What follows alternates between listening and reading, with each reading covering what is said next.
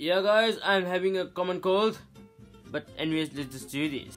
Like back in the day, Facebook was so cool. Like you know, like now it just, it just porn feeds. Like one guy literally having a sex with a horse. Jesus. People try to pick up random girls on Facebook. I've seen a couple pictures. Like people try to flirt with girls and status. What the hell, dude?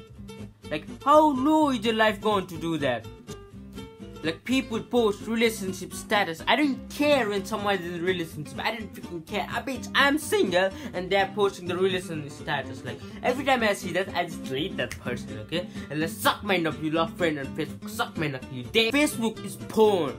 A Twitter is porn. Like another thing about Facebook, like some nerd, like literally they click the photo of their result, like great result, and post on the Facebook. Like Jesus, are you gone mad? Do you have this brain? Do you have this? Jesus Christ. You have this, huh? You don't have this. Are you mad, huh? You're pissing me off. You dickhead. like main thing is control your anger, okay? Don't be, you know, pissed out by something. So anyway guys, gooses.